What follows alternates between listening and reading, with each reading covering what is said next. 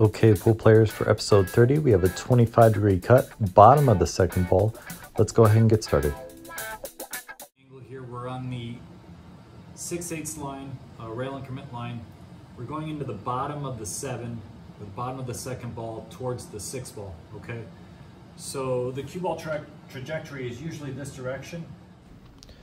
I'm going to hit this with a half tip below center with a full stroke. Okay, pool players, as you can see, this rack opens up very nicely. Nice wide open spread, one small cluster in the middle. Let's see about how we attack the rest of it. Okay, that's a pretty good result. I avoided the scratch, came a little lower than I usually like, but uh, I'm happy with the results, so I'm not going to complain too much.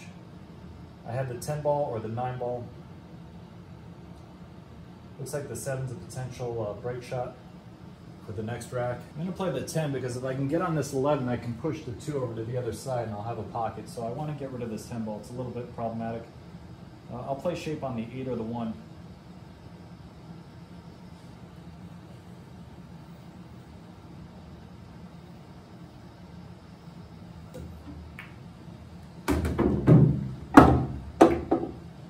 Okay, I have both balls as options. I'm to roll up for the 3 ball.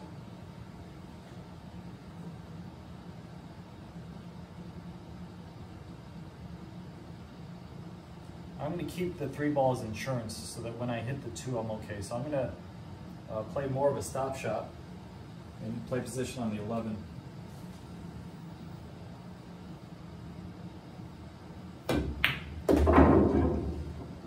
Now, when I play the 11, I'm going to hit the two and I'm going to use draw so I have shape on the 14 as well. I kept the three just in case, but I got a good angle where I can clip the two, draw back, and I'll have shape on the 14.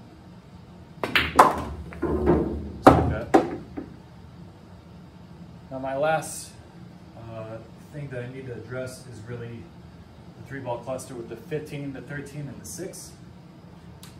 You can see if I come underneath, uh, anywhere around here on the 12, I can go into that 15 and I'll have the 9 or the 2. Okay, so I really want to get like right around here would be ideal. Obviously I don't want to get stuck behind the 9, so I'll guard against that.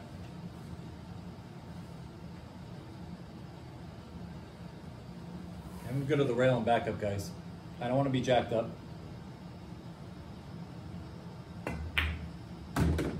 Okay, that's pretty good. I can go right into that 15. I should splash the six ball should go this direction, 13 should go this direction.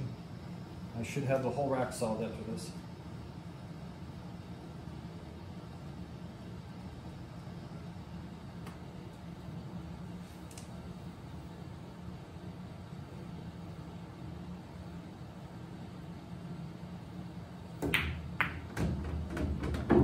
Okay. Have the two or the nine. Okay, I'd like to use the eight to get onto the uh, three ball. I'd like to use the nine to get onto the 15 or the two. I'm gonna play the nine. I'd like to get straight on the eight, and if I don't have the eight, then I'll play the three. Okay, I'll, I'll have the eight, the three, or the 15 here. That's what I'm playing for.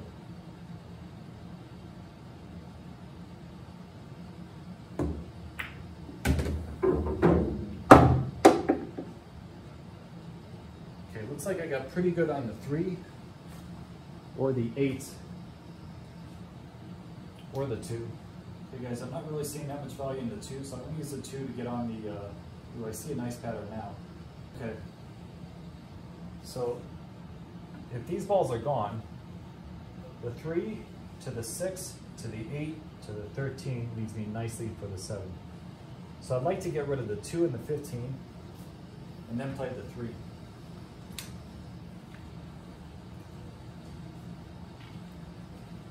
I'm gonna draw back for the 15.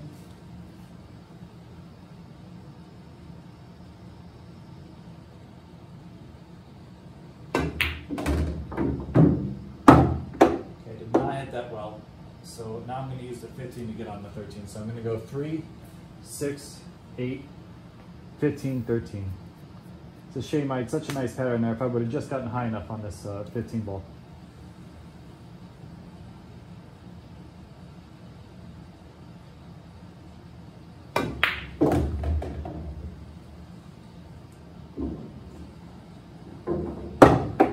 Okay, it's too hairy, guys. I'm gonna play the the 13, 6, 8, 15.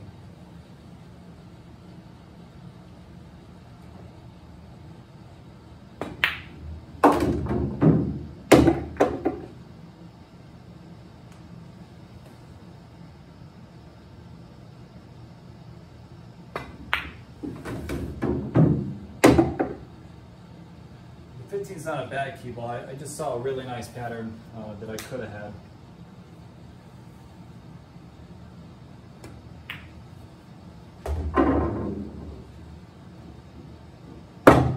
Around the middle of the table, guys.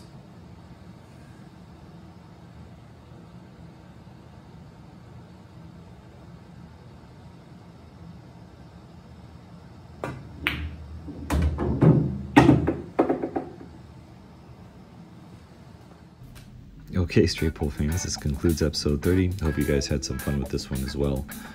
Uh, this rack had a little bit of tricky um, pattern play, only because the balls were oriented in a little bit of a, a unique fashion. Could have possibly gotten rid of the three ball earlier, might have made that uh, pattern a little more obvious. Um, but overall, successful uh, attempt. Hope you guys are successful at home or in your pool holes, and uh, have a great day or night, and I'll see you guys next angle.